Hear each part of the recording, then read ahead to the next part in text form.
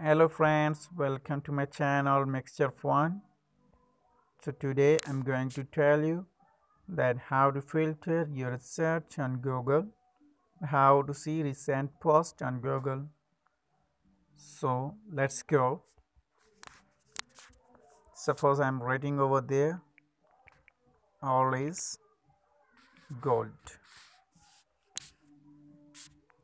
So here you can see the post and the date. The first result is 15 August 2007, second one 26 August 2020 and November 2020. Now just see the latest posts. Simply just drag the toolbar of Google.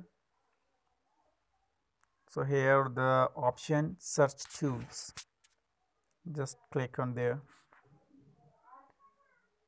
So what kind of duration videos you need?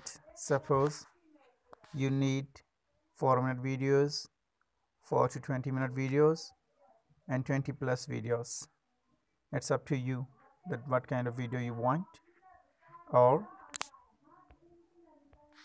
here are the timing the from which time you need the past past hour past 24 hours past week past month.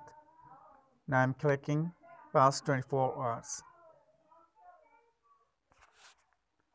So here you can see the recent posts 15 hours ago 33 minutes ago 21 hours ago 1 hours ago 22 hours ago. So that's it Thank you very much for watching.